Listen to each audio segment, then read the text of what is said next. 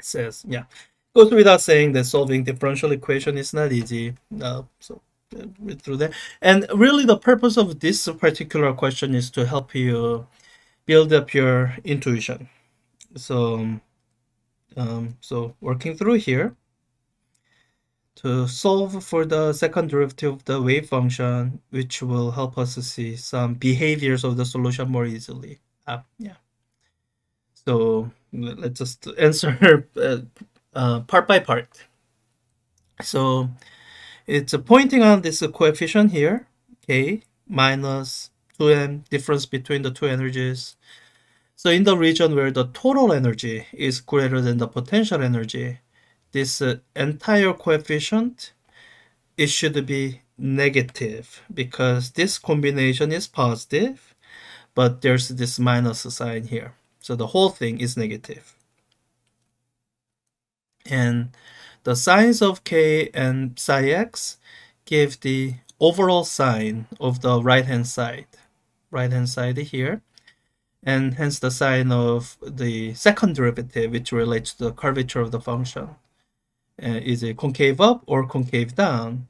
And uh, this is a bit of a calculus review, I guess. Um, you this is something that you should have learned in uh, Calculus 1, I think.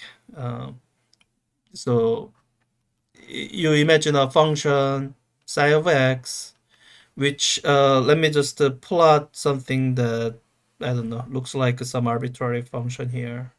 Um, so if I have uh, something that looks like this, I, I don't know. It, it's just an arbitrary function. I'm not really doing anything here. Um, when you look at in this region, for example, what you should see is that the slope of the function, so let me draw a tangent line here, is changing upward. So in this region, what you should be seeing is that the second derivative is positive because the change of the slope is in the positive direction.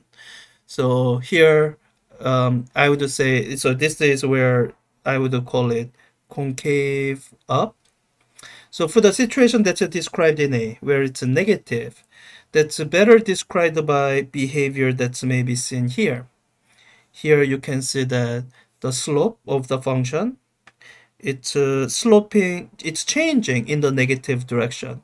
It's uh, uh, becoming more steeper downward.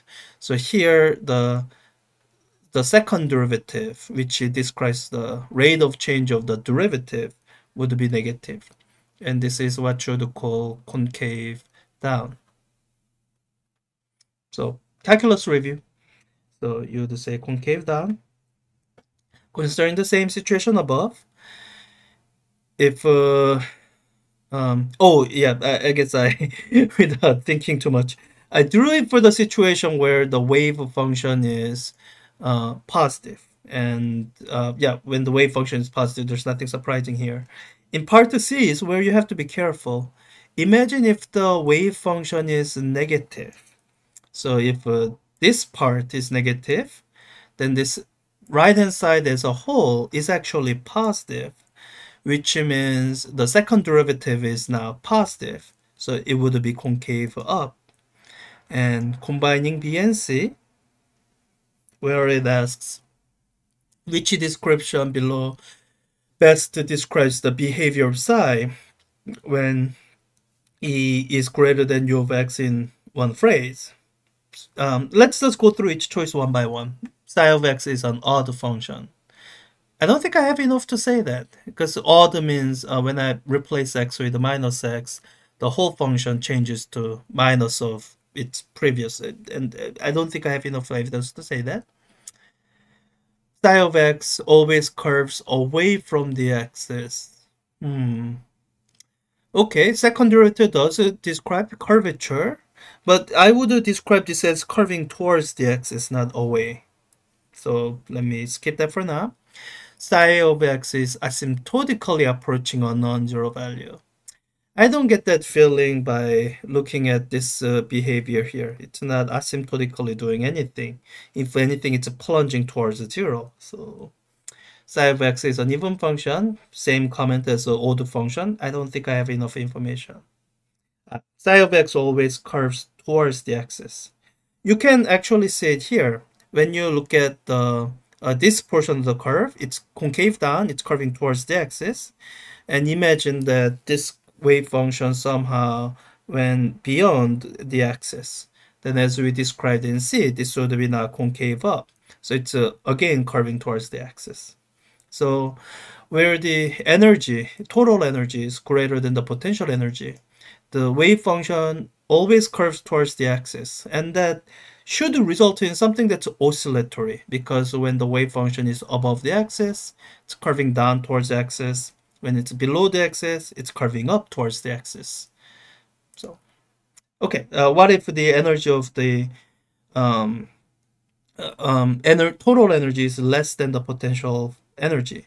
Then what I think you should do is work through uh, BNC, equivalent of BNC or A BNC again. Your answer to A would be negative, uh, sorry, positive.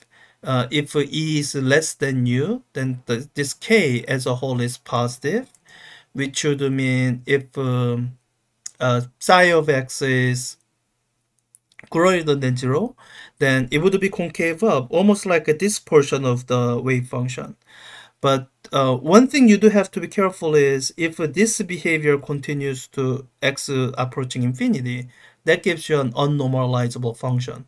So really the other thing that would work out here that's still concave up but would give you something normalizable would be something that looks like this, an exponential decay that's concave up and you would uh, vanish to zero so that you can normalize it.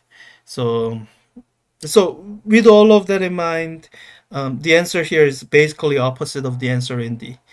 So psi of x always curves away from the axis uh, in the region where total energy is less than the potential energy.